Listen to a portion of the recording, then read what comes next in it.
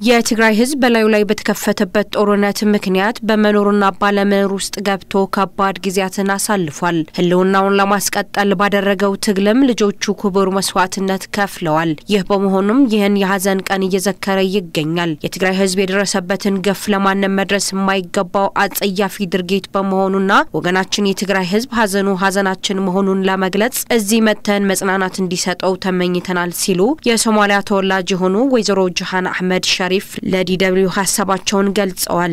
ስሜ ጂሃን አሕመድ ሸሪፍ ይባላለሁ። ከድሬዳዋ ነው የመጣው። ኢትዮ ሶማል ድሬዳዋ ነው። ሶማሌ ነው ወክለው ኢትዮ ሶማል ድሬዳዋንን እና ድሬዳዋም ሶማሌም ወክላለሁ እና ለትግራይ ህዝብ ሀዘን በጣም ለእኛም ሀዘን ነው። በጣም ተሰማን። በጣም የሚያሳዝን ድርጅት ነው። በጣም በጣም በጣም ከባድ ነገር ነው ተጭኖ የተጫነባቸው። ፈጣሪ ይሄ ያጽናናቸው። የትግራይ ህዝብ ሞላ በጣም ነው ያመምን። በጣም መድረግ አይደረግበት ድርጅት ነው የተደረገባቸው። ደግሞ እንዳናይ ነው የምንፈልገው። አሁን የሆነ ሆኖ አልኩ። አሁን በኋላ ደግሞ ይሄ ተጭኖ እንዳይመጣ ነው የምንለው። ትግራይ መውደቅ የለበትም። ትግራይ ከተወደቀ እኛ ወድቀናል ማለት አቅም የለንም። ትግራይ ማለት ራበን፣ ሰለቸን፣ ጠማን፣ ሞተናል ሳይሉ ለእኛ የቆሙ ህዝብ ናቸው። ለብሔራቸው ሳይሆን ለመላ ኢትዮጵያ ብሔር ብሔረሰብ ለማስከበር የቆሙ ጀግኖች ናቸው።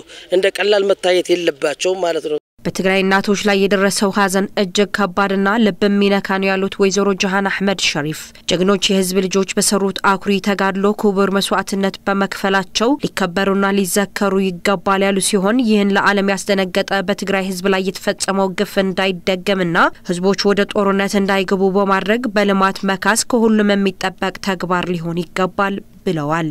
እናት ላይ በጣም አንጀት ምነካ ነው። እንዳይደገም ነው ምለው። ወደ ልማትና ወደ ስራ ካሁን በኋላ በቃ መግባት አለብን። ሰው ይጣላል።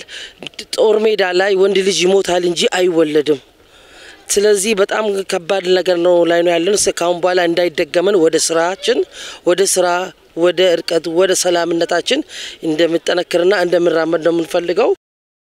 ከጥንትም ጀምሮ ጀግንነት ታሪኩ የሆነው የትግራይ ህዝብ በላዩ ላይ በተከፈተበት የጥፋት ዘመቻ ለመመከት ክቡር መስዋዕትነት ከፍሏል። በባለፉት ጊዜያትም ቢሆን ጀግናው የትግራይ ህዝብ ለብሔር ብሔረሰቦች እኩልነት፣ ለፍትህና ለህገ መንግስት ሲል ውድ ዋጋን ከፍሏል ሲሉም ገልጸዋል። ዋና ከናከን ደገመምኔ በርባና ሄዱ ኡመተ ህዝቢ ትግራይ ጉበረ በትግራይ የተከሰተው እንዳይደገም እንፈልጋለን። የትግራይ ህዝብ የተለየና አንጀት የሚበላ ህዝብ ነው። በሴቶችና በእናቶች ላይ ትልቅ ጉዳት ደርሷል። የትግራይ ህዝብ ማለት ወገናችንና ደማችን ነው። እዚህ የደረስነውም በትግራይ ህዝብ ነው። ይሄ ስም ደግሞ አይጠራም። በጀግንነት ሁሉም ስም አለው፣ ክብር አለው። የኦሮሚያን ፕሬዝዳንትነት ይገባል። ይሄ ሁሉ ልማት በኦሮሚያ ነው። ሶማሌም እንደዚህ ነው። ይሄ ይገባል ያለ ጀግንነት ለራሳቸው ሳይሆን አሳልፎ የሰጡን ትግራይ ህዝብ ነው። ወይዘሮ ጀሃን አክለውም ክቡር ህይወታቸውን ከፍለው ያለፉ ሰማዕታት ክብርና ሞገስ ይድረሳቸው በማለት ለመላው የጀግኖች ቤተሰቦችና መላው የትግራይ ህዝብ መጽናናትን ተመኝተዋል። የተሰዉ ወንድሞቻችን፣ አባቶቻችን፣ ወንድሞቻችን በጣም ነው የምናመሰግነው። ፈጣሪ በጽኖ ይስጣቸው። ሰብሪ ኢማን ሙስሊም ከሆኑ በጀነት አላህ ቅብር ያርጋቸው ነው